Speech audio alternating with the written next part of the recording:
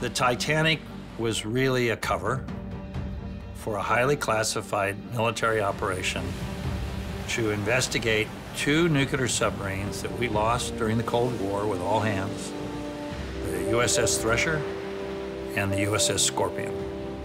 They ironically turned out to be on either side of where the Titanic was lost. And quite honestly, had that not been the case, you wouldn't be looking at the guy that found the Titanic. The Navy wanted complete 100% photo documentation of both wreck sites and to answer some questions. What are the nuclear reactors doing?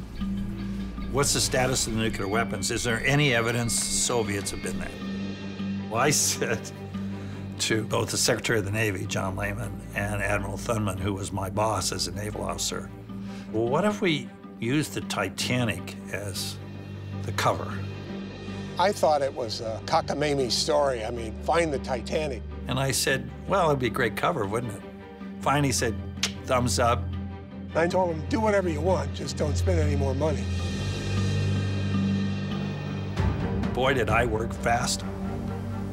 We pretty well knew what happened to the Thresher. We mapped her a year earlier. They knew very little about the Scorpion. It took me about a week to get there and map it.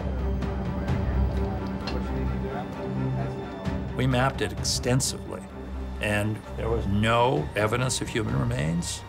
I mean, that would have been tough, but no. The reactors were intact, so that was good news. There were no other indications of uh, something amiss other than the, the submarine had gone down and it had imploded. As soon as the Navy was satisfied, we headed northwest for the Titanic. I had 12 days to hunt. But I had learned something from the Thresher and Scorpion that I couldn't tell anyone because both submarines imploded before they came to the bottom. So on their way down, the pressure hulls went, and that implosive event is a gigantic explosion. And it just blew the submarines apart. But when I was mapping it, we realized that the heavy stuff went down like a bowling ball reactors, boom. But then the lighter stuff was a big, long line. And I went, didn't the Titanic do the same thing? So let's not look for the big pieces of Titanic, because they're only that big. Let's look for the debris, which meant I could space my search lines much wider apart. But Titanic did not lie where she was thought to be. Days of futile search dragged on. How close were you to failure, Warren? Well, I had, I was reaching the point of where I thought we'd failed. And I, I thought we had. And I was going, I went back to my room and we had the watch going. It was a mid watch. Everything happens on the midnight watch, 12 to 4. I don't know why. Everything important occurs right around midnight.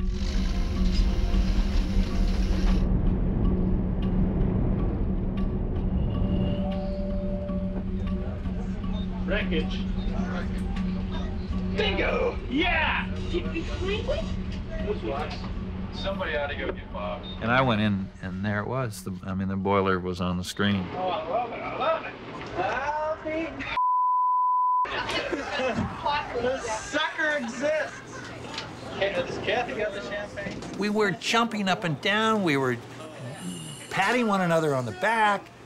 And then someone looked at the clock in the command center and said, she sinks in 20 minutes. It was two in the morning. She sank at 2.20. And that innocent comment just grounded us. And we realized you have finally put the rest where these souls were lost. And everyone filed out. And it was a moment of silence because we were there. And that was pretty, pretty powerful.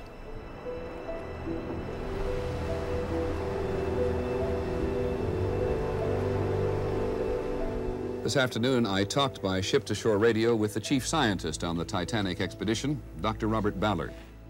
What kind of condition does the Titanic look in over? Appears to be in uh, superb condition. How would you describe the effects on you personally of this whole experience over these years? Uh, uh, it's a nice feeling though. You're welcome, please, Dr. Robert Ballard. My life had changed after that. I went from being a scientist who no one ever recognized to not being able to go unnoticed again. Bob Ballard did something that people have been trying to do for 73 years, and that's discover the Titanic's resting place. And you did it. What a dramatic, magnificent moment. Summer 1988. A converted trawler named Starella leaves Spain, bound for the North Atlantic. After we found the, the Titanic, National Geographic naturally said, well, let's do another one of those. So we went for the Nazi battleship Bismarck. Certainly, one of the reasons for finding the Bismarck was to take a little edge off the Titanic. When I did the Titanic, no one believed I would find it. Now no one believes I won't find the Bismarck, and I don't think I preferred when they didn't think I would find it. Should have been up in here. And I didn't find it. I failed. I didn't find it. And I said, I looked straight at the lens just as I'm doing now, and I said, Round one to the Bismarck. I know where it isn't. Give me another shot. A year after coming up empty handed, Ballard prepares to renew his search aboard the Star Hercules.